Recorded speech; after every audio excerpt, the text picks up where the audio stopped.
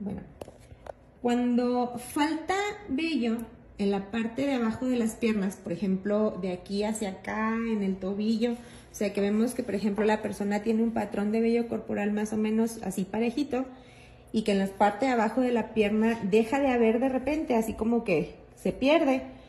Eso es algo que nos hace mucho sospechar de una cosa que se llama enfermedad arterial periférica. O sea, que la sangre no está llegando bien hasta el final de la extremidad. Entonces, lo primero que empieza a sufrir son los tegumentos o los folículos pilosos. No reciben suficiente irrigación sanguínea y, este, y no pueden producir el pelo como tal.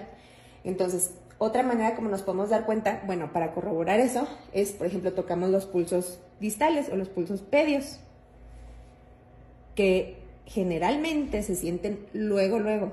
Por ejemplo, en el no, casi prácticamente no los encuentro en ninguno de los dos pies. Y otra manera como lo podemos inferir, bueno, clínicamente, ¿verdad? Es acá en su llenado capilar. O sea, podemos, mira, acerca un poquito más hacia acá podemos aplastar así su dedito.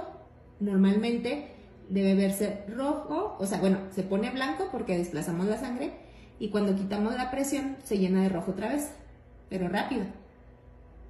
Y en él tarda varios segundos.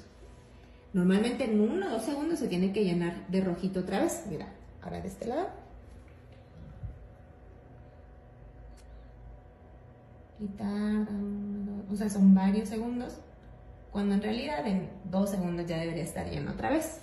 Entonces, obviamente, bueno, la pérdida de vellito puede ser también por otras causas, o sea, por ejemplo, trastornos de tiroides, a veces la misma compresión del calcetín, o sea, hace que, pierdan vello en esta parte, pero muchas de las veces es insuficiencia arterial periférica. Otro de los signos, por ejemplo, es que caminan eh, y les duele, sienten mucho dolor en las piernas al caminar, por eso yo les preguntaba ahorita que si mientras caminaba tenía dolor porque cuando hay dolor al caminar, eso nos habla mucho, mucho también de insuficiencia este, arterial periférica, o sea que no está llegando bien la sangrita hasta el final de las extremidades. Y, este, y ese tejido pues empieza a sufrir. Entonces duele, duele,